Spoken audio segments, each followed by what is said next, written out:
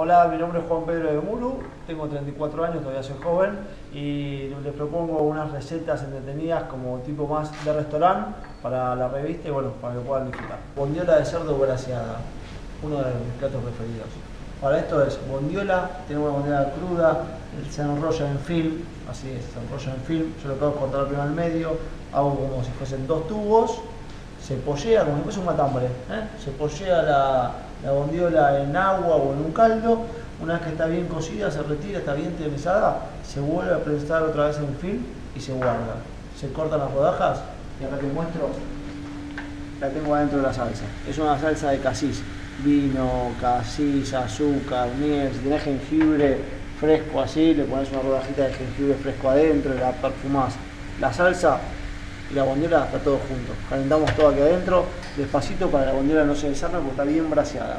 Guarniciones. Tengo por acá, estoy haciendo un siro, un almíbar, azúcar y agua. Esto para terminar de glasear las batatas. Batatas que las hervimos previamente con un poco de sal y un poco de azúcar para que vaya tomando sabor.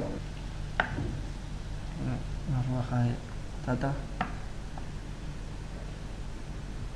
¿No? Y ponemos cebolla morada, cebolla blanca, cebolla típica, la que ustedes encuentren, una rodajita de la calabaza y terminamos.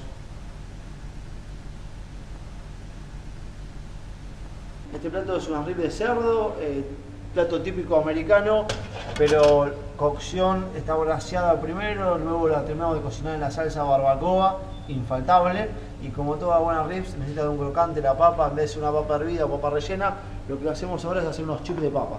Unas papas cortadas tipo española, fritas, las fritamos bien finitas, queden bien crocantes, que se escuche ese, ese como ese crack de la papa para que no rompa en la boca y vamos a acompañar con queso crema y unas infaltables hojitas verdes para decorar el plato y darle un poquito de frescura a estas ribs de cerdo.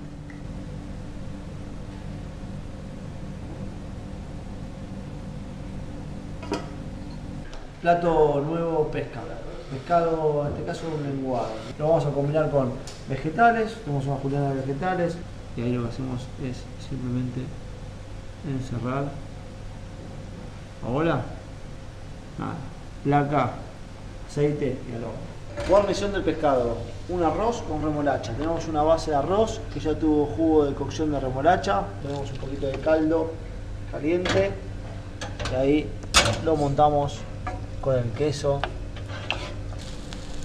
Filé de abajo, filé blanco, filé de abajo lenguado. Uno por acá.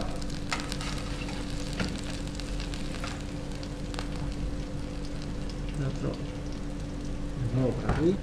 Unos hinojos para darle un poco de frescura. Un hilo de aceite de oliva.